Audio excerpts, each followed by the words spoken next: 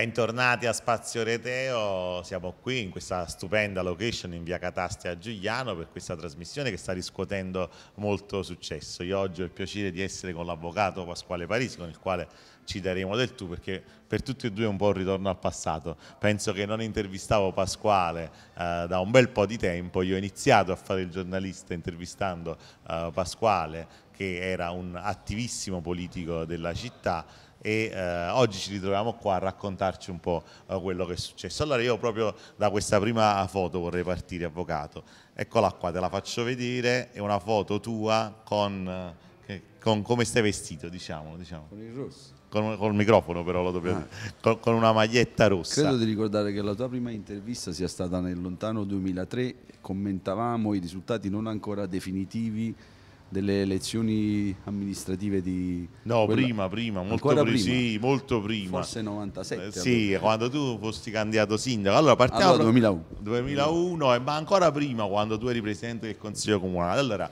la foto che avete visto è una foto di Pasquale Parisi in maglietta rossa, quando c'è stato un appello sui social a, a indossare una maglietta rossa. Una foto che io diciamo, ho messo come prima foto proprio perché eh, è una foto che testimonia una cosa, un impegno in politica nonostante tutto da una vita. Sì, Come sì. nasce questa passione? Ma io credo che nasca fra i banchi di scuola. Io ho cominciato da ragazzino, si può dire, con uh, i comitati studenteschi. Sono stato, credo, a 15 anni eletto per la prima volta nel consiglio d'istituto del nostro liceo scientifico doveva essere l'anno 1978 credo, poi ci sono rimasto fino alla conclusione del mio percorso eh, liceale.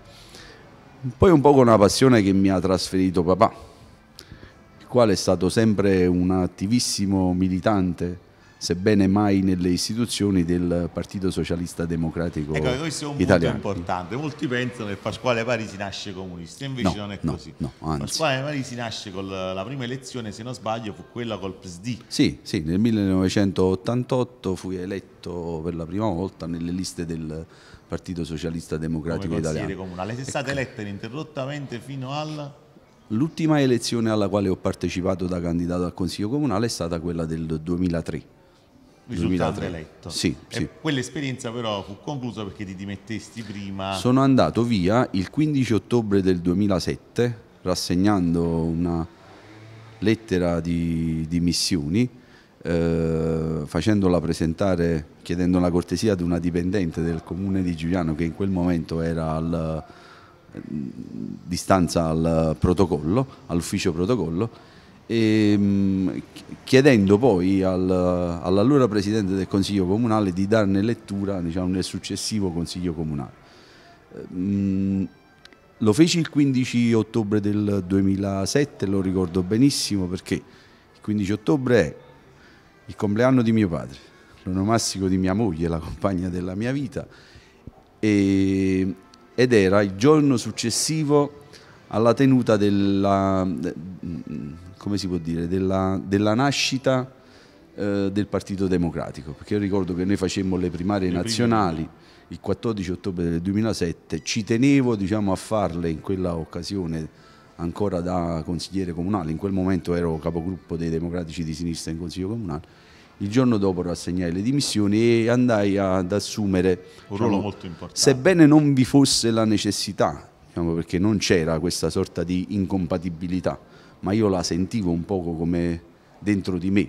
Eh, andai ad assumere il ruolo di difensore civico all'allora provincia di Napoli, oggi città metropolitana. E fusti surrogato, poi ne parliamo dopo, da... Penso Peppe Agrillo, sì. Peppe Agrillo. Mio compagno di scuola elementare, di scuole medie, diciamo, mio mio amico da sempre. Eccoci qua. Allora, la prossima foto che ti faccio vedere è proprio questa, no? La riconosci? Che cos'è? Ecco, no, questa è la nostra aula consigliare. Quanto ti manca? Devo dire la verità, mi manca ancora.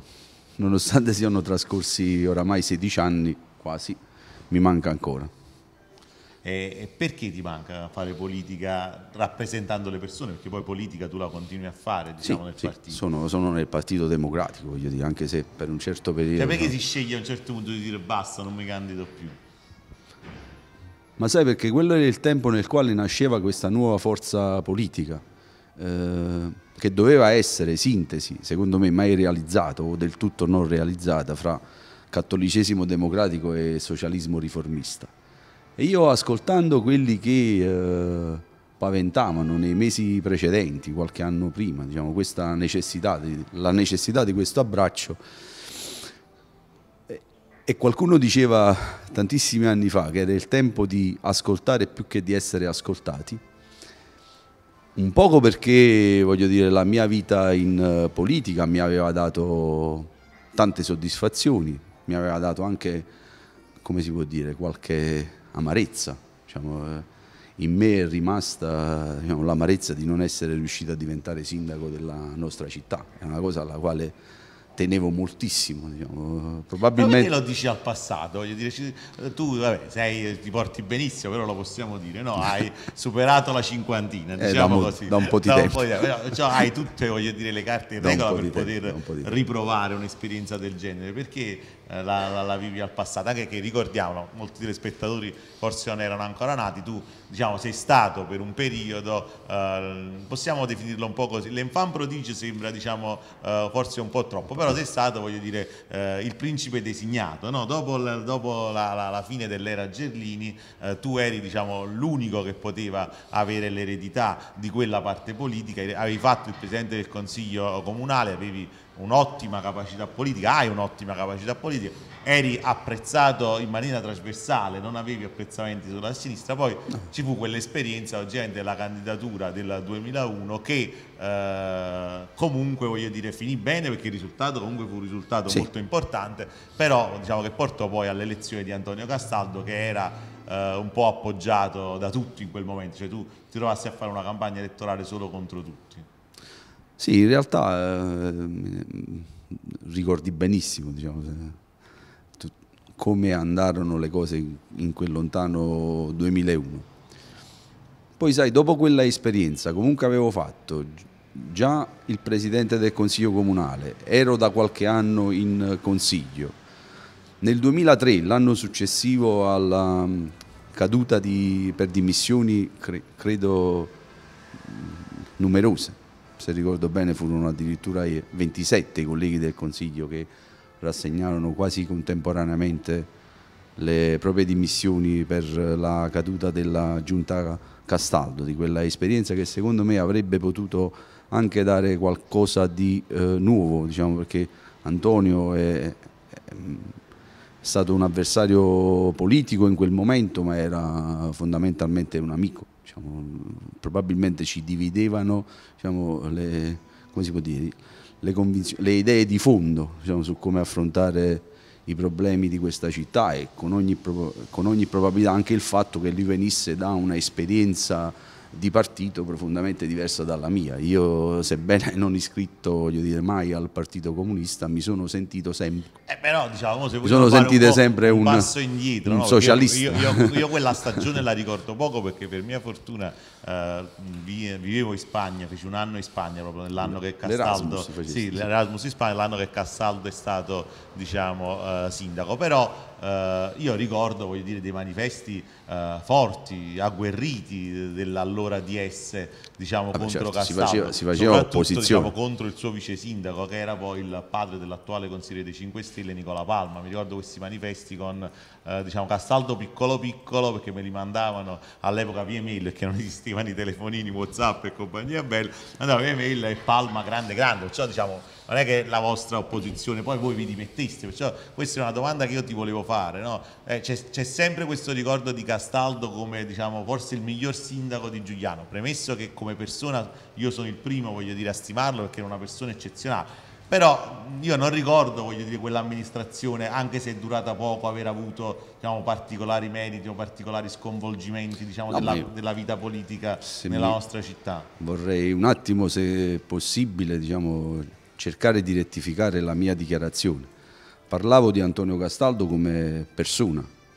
Eh, non ho mai condiviso in quell'anno di eh, sindacato Castaldo ogni e qualunque provvedimento che la sua giunta o la sua maggioranza abbiano posto in essere o hanno tentato di, in di porre in essere. Ah, anche perché Quindi, la maggioranza di nemici storici vostri, certo, tuoi, certo, Giacomo Gervini, certo. cioè, c'era uh, Giovanni eh, Pianese, c'era Luigi Guarino, c'era Antonio Dell'Aquila, cioè di tutte persone che per l'amor del cielo sicuramente tu stimerai a livello personale ma con le quali non vi siete mai trovati certo. dalla stessa Sicura, parte. Sicuramente le no. Le battaglie politiche sono state anche aspre. Sicuramente no. Io ricordo diciamo, di aver iniziato la mia esperienza con, uh, di consigliere comunale con Giovanni Pianese sindaco, ma erano i tempi in cui non c'era l'elezione diretta del sindaco secondo la legge 81 che venne poi uh, promulgata nel 1900 credo 93, eh, sì. quindi eh, se ricordo bene. Sì, il tema, ma lasciamo stare Castaldo che ripeto, persona bravissima ed eccezionale, il mio, era, la mia era una domanda sull'amministrazione Castaldo,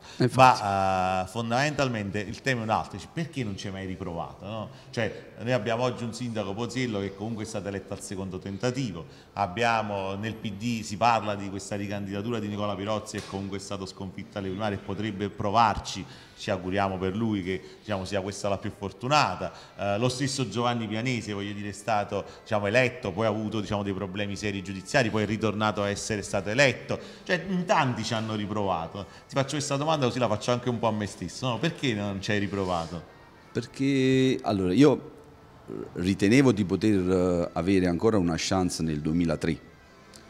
Infatti la mia candidatura al Consiglio Comunale in quel momento derivò dall'essere stato annoverato in una, una cerchia ristrettissima di probabili candidati sindaco che i democratici di sinistra avevano posto sul tavolo delle trattative provinciali.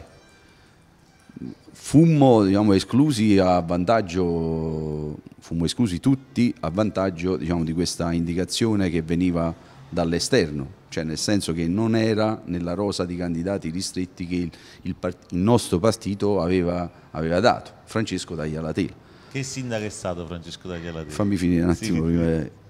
Io trovai la forza in quel momento di candidarmi al Consiglio Comunale, potevo evitarlo, dovetti dire diciamo, ai tanti giovani compagni che mi accompagnarono poi, che mi avevano accompagnato e mi accompagnarono successivamente in quella, devo dire, anche affascinante avventura, diciamo, anche se di esperienza consiliare, che veniva subito dopo quella eh, bellissima diciamo, che io ho vissuto nonostante la sconfitta di candidato sindaco del del 2001, di quel centrosinistra diciamo, che aveva i connotati del centrosinistra ma non la sostanza di quello che negli anni precedenti probabilmente si era riusciti a mettere in campo, diciamo, a determinare una serie di vittorie notevoli diciamo, anche sul, nel nostro territorio, nella nostra città, non solo a livello comunale ma anche per, eh, per quello che risultavano poi essere eh, dire, i dati che venivano fuori eh, in ragione di elezioni diverse, regionali, politiche, insomma e quant'altro. Che dire, eh, candidarmi per l'ennesima volta, credo per la quarta, quinta volta, insomma, al Consiglio Comunale fu per me diciamo, la risposta diciamo, ad un voler obbedire alle esigenze del momento, alle necessità non, ca non, no, candida no. non, candidarmi, sai, sarebbe potuto passare come uno che, ah, che magari non aveva avuto la caramellina, sbatteva la porta ah, e se ne andava.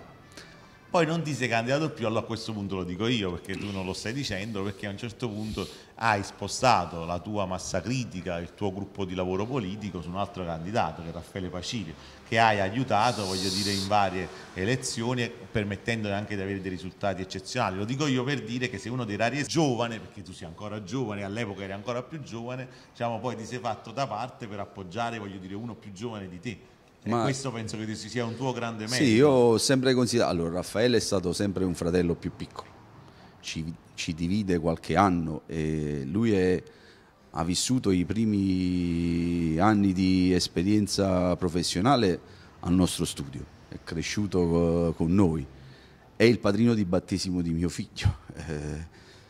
Eh, mm, è, è stata la persona più vicina a me nelle varie esperienze che io ho avuto, diciamo, l'ultima è stata quella di candidato al Consiglio provinciale per i democratici di sinistra, i quali non avendo in quel mentre un sindaco iscritto al partito, un vice sindaco iscritto al partito, eh, decisero, diciamo, con questa sorta di eh, direttiva nazionale, di candidare i capigruppo consigliari laddove necessitasse. A Giuliano c'ero solo io iscritto al partito, ero io in quel momento il capogruppo in consiglio comunale, il partito decise di candidare me. E questa è stata l'ultima esperienza che ho fatto, diciamo, e devo dire diciamo, con, con un poco di rammarico che anche in quell'occasione diciamo, non am, avuto am, dietro le spalle diciamo, l'apporto sì, di tutti, diciamolo sì, chiaramente. Sì, sì, credo di non aver avuto l'apporto di tutti. Allora, perché... di, questo e della prossima foto ne parliamo subito dopo una breve pausa, ci fermiamo veramente per pochi secondi, restate con noi, stiamo ripercorrendo la carriera politica di Pasquale Parisi, adesso ripercorremo oltre a quella politica anche quella professionale e quella personale.